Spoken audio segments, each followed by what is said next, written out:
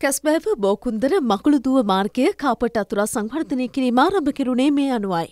විදෙස් ණය ආධාර යටතේ මාර්ග කිලෝමීටර් එදහස් පන්සියක් සංවර්ධනය කෙරෙනවා. එයනුව බෝකුන්දර මකුළුදුව මාර්ගය සංවර්ධනය කිරීම ආරම්භ කෙරුණේ අමාත්‍ය ආචාර්ය බන්තුල ගුණවර්ධන හා පාර්ලිමේන්තු මන්ත්‍රී ගාමිණී ලොකුගේ යන මහතුරුන්ගේ ප්‍රධානත්වයෙනුයි. ගොඩපර ගහවත්ත මාර්ගය සංවර්ධන කටයුතුද ආරම්භ කෙරුණා. මැති ඇමතුරුණතුළු පිරිසක් එහි ආරම්භක අවස්ථාවට එක්ව සිටියා. පාරවල් වලට තිබුණ සල්ලි ටික බේත් ගේන්නයි ගෑස් ගේන්නයි පෝර ගේන්නයි අපෙන් පවර ගත්තා. එතකොට 500න් 316ක් 10ක් ගත්තාම ඉතුරු ටිකෙන් පාරවල් හදන්න පුළුවන්. වෙන ආණ්ඩුවට දෙන්න සල්ලි තියෙනවද? ආණ්ඩුවට පාරවල් හදන්න සල්ලි දෙන්න නම්. එහෙමනම් පඩි ගෙවන්න නැතුව ඉන්න විශ්‍රාම වැටුප් ගෙවන්න නැතුව ඉන්න ඒ සමුර්ධි අස්වැසුම දෙන්න නැතුව ඉන්න එහෙම පුළුවන් බෑ. ඒ නිසා කරුණා කළා.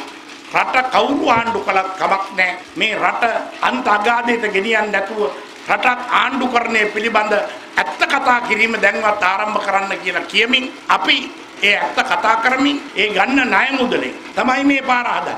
මේක ණයට හදන්නේ. අපි ගෙවන්නේ අපෙන් පස්සේ එන ඔබතුමාලගේ දරුවෝ මේක ගෙවන්න ඕනේ. මේක තමයි ඇත්ත.